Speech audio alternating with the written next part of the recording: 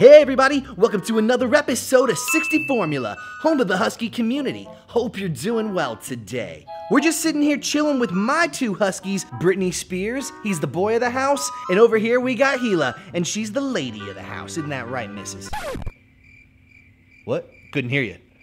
Oh, yeah, okay, I heard you that time. Today we're gonna be talking about. Oh my gosh, what is that? I tell you what, living out here in the country, there's so many weird bugs. There's so much weird, freaky deaky stuff you gotta get used to, isn't that right, yo? There's bugs of all magnitudes, spiders and flying insects and mice and stuff. Kinda never ends living out here in the sticks, you know what I mean?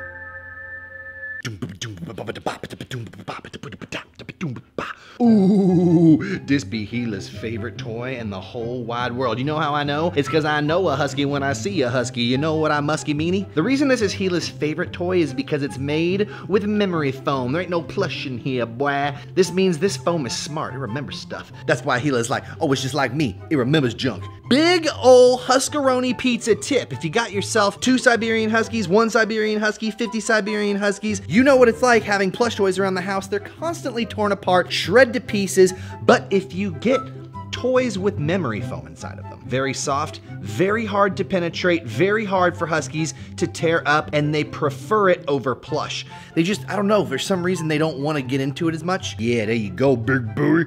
There you go, big Britney Spears, you get the pink one, dog. But yeah, memory foam, way better than plush. Check it out. Go to your local uh, pharmacist, your local pet food store. Ask them about the, uh, the memory foam. It works wonders, my brothers. Okay, today we're gonna be talking about a topic that people usually discuss whenever they're getting themselves a Siberian Huskaroni pizza. Should you buy one or should you adopt? Adoption versus buying. I gotta be honest with you, bro. I don't know why they use the word adoption. Like, I never seen a human being give birth to a dog before, you know what I mean? I mean, I'm just saying, like, all dogs are adopted, right? You know what I mean? You know what I mean?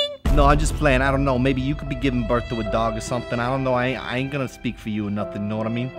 No, in all seriousness, if you are interested in purchasing a Siberian Husky, what is better, adoption or just downright buying a pepperoni pizza. Now, either way, you're most likely going to pay money because there are adoption fees whenever you do adopt dogs, but adopting is a very noble thing because there's an argument to be said that you're not adding to the overall problem of overpopulating dogs and, and putting them in the kennel. Right off the bat, there's a difference in price. If you're going to adopt a Husky, you're only gonna be paying probably less than $200. If you're purchasing a Siberian Husky, you're gonna be paying anywhere from 600 to over $1,500. I mean, the prices go wild whenever you buy Husky puppies. It also depends on males and females. Males are typically more money, females are typically less money. I know, they're prettier though. Now, the other upside and downside to this is that you're gonna have a Siberian Husky puppy most likely if you end up purchasing, which means you're gonna have to go through the whole entire puppy phase. And a lot of people like that kind of stuff, especially the ladies. Oh my God, the ladies, they just love a puppy. They just love a Siberian Husky puppy, ah, boy. But puppies are not easy, man. They are so hard. They're just, it's really difficult to take care of. They're always on your mind. You gotta make sure you watch them 24 7. They don't sleep at night. They poop everywhere. They pee everywhere. They wanna eat everything. So some people don't wanna do the puppy stuff. Plus, it's a lot of money to get all the stuff you need for a puppy. And then guess what? They're not a puppy anymore. You, you wasted like, I don't, like $3,000 and you never need it unless you're gonna have another puppy again soon. Otherwise, most people just put it in the garage and go, oh, now when you adopt, you're typically not getting a Siberian Husky puppy. And the reason why is because most adoptions, most people who put Huskies up for adoption, they did the puppy thing. They couldn't take it. It was way too hard. The Husky was too loud, out of their control. So they end up giving it up and it ends up in a rescue or a pound, whatnot. And by that time, the Husky has at least gone through puberty and they're old enough to, they're just, they're, you don't typically see Husky puppies in shelters or rescues or pounds and things like that. So if you do get from a rescue, you're gonna expedite that whole puppy process. Now, to some people, that's super sad, but to some people, that's that's pretty cool. You can skip all that stuff. Now, like I said, this is all kind of like a give and take sort of scenario. It's all just about what you want and what you are looking for when it comes to a dog. So if you do have a puppy, okay, you're gonna be able to train it and teach it at a very early age, kind of socialize it and whatever. And that's gonna be beneficial to you because it's gonna look up to you. You're gonna be like all that it knows. It's, it's gonna trust you. It's gonna be easy for your dog to do and be exactly the dog you want it to be when you train it from a puppy. And it's not impossible when you have a rescue dog, but it's just a little bit harder because you're gonna have to focus more. You're gonna have to have more training involved because you obviously aren't that rescue husky's first owner. Now, a lot of people say, oh my gosh, you know, you need to go rescue a husky. It's the number one thing you got to do. People like to pressure people like, hey, if you don't rescue, then you, you're causing problems and junk like that. As long as you are a responsible dog owner, you love your dog, you take care of them, you stick with them through and through, you can get your dog from a breeder. That's 100% cool. Another thing that people like to claim is that Siberian Huskies are filling up kennels and rescues and pounds everywhere. And that, that the best thing to do is to rescue because there's so many of them out there being given up. While it is true that a lot of people do give up Siberian Huskies regularly because they don't realize how hard it is because the big old boofers and their floofers and their floofiness. But Siberian Huskies are one of the most picked up dogs when it comes to rescues and kennels and pounds. Every kennel and pound will tell you that people call them constantly going,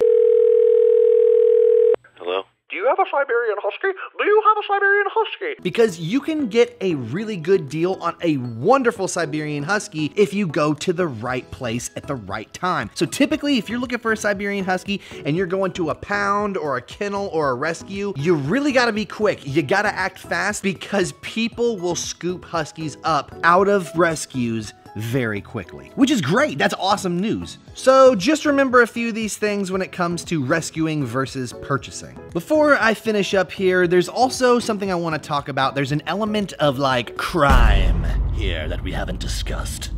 An element of evil.